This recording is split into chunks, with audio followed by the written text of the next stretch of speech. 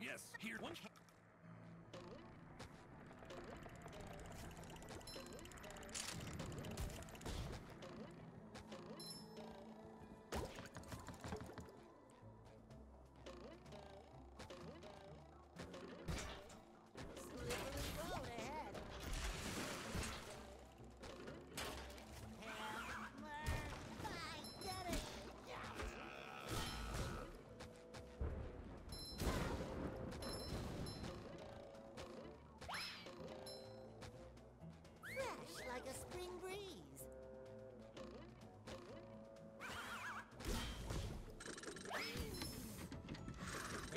Nothing like the smell of bubbles in the morning.